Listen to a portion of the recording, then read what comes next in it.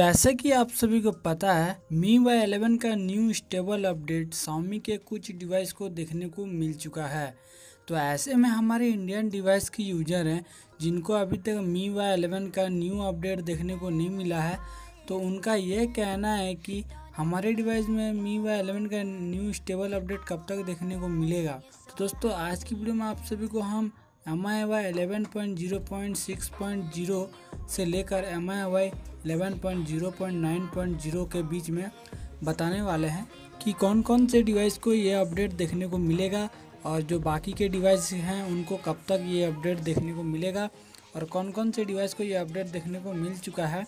आज की वीडियो में आप सभी को फुल इन्फॉर्मेशन बताने वाले हैं तो अगर आप हमारे चैनल पर नहीं हो और अभी तक आपने हमारे चैनल को सब्सक्राइब नहीं किया है तो प्लीज़ जाके हमारे चैनल को सब्सक्राइब कर लें, क्योंकि तो हमारे चैनल पर इसी तरह से रिलेटेड हमेशा वीडियो आती रहती है। सबसे पहले दोस्तों, आप सभी को बता दें कि कौन कौन से डिवाइस को ये अपडेट देखने को मिल चुका है।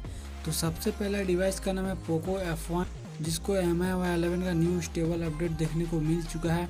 उसके बाद Redmi Y three Redmi Note six Pro Redmi seven Redmi Note nine Pro इन सभी डिवाइस को एम आई वाई एलेवन के तरफ़ से न्यू अपडेट देखने को मिल चुका है।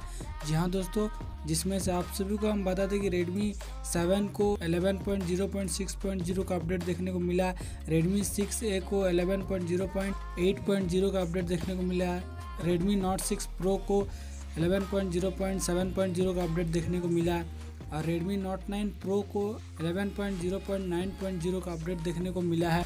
और Redmi के जो बाकी डिवाइस हैं, जिनको मैंने अभी आप सभी को बताया है, जो भी डिवाइस हैं, Redmi Note 9 Pro को छोड़कर जितने भी सारे डिवाइस का भी मैंने नाम बताया है, जिनको अपडेट देखने को मिल चुका है, वो सारे यूज़र को देखने को नहीं मिला है। क्योंकि अभी तक आप सभी को बता दें कि जिनको ये अपडेट देखने को मिल चुका है, उनके लिए तो सही है पर जिनको अपडेट देखने को नहीं मिला है, उसको रोल बैक कर लिया गया है। जी हाँ दोस्तों, आप सभी को हम बता दें कि ये अपडेट आप सभी को कम से कम मिलने के लिए कम से कम 10 से 12 दिन और लगेगा, तब जाके जो भी डिवाइस हैं पब्लिकली रोल आउट किया जाएगा। जी हाँ दोस्तों, आप सभी ने सही सुना है।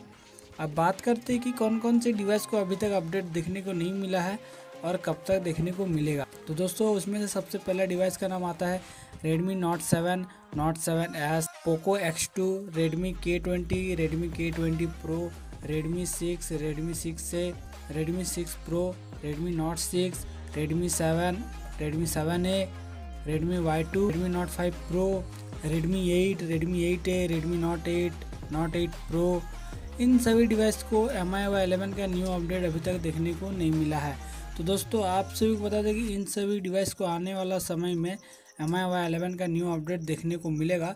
वो भी जल्द देखने को मिलेगा। पर आप सभी को हम कंफर्म नहीं बता सकते कौन से डिवाइस को कब अपडेट देखने को मिलेगा।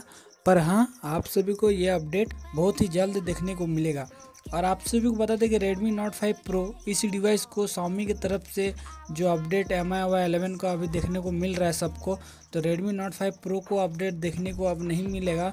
अब उसे direct MIUI twelve का ही अपडेट देखने को मिलेगा। जी हाँ दोस्तों, आप सभी ने सही सुना है। और बात करते हैं कि Redmi Y2 के बारे में तो दोस्तों, इस डिवाइस को डेढ़ से दो महीना पहले एक अपडेट रोल आउट किया गया था 11.0.5.0 तो अब मुझे नहीं लगता कि इस डिवाइस को अभी कोई अपडेट देखने को मिलेगा। इसके बारे में कोई भी इन्फॉर्मेशन नहीं है। अब शायद मुझे नहीं लगता कि Redmi Y2 को कोई अपडेट देखने को मिलेगा Xiaomi की तरफ़ से, पर देखते हैं क्या होता है आने वाला समय में।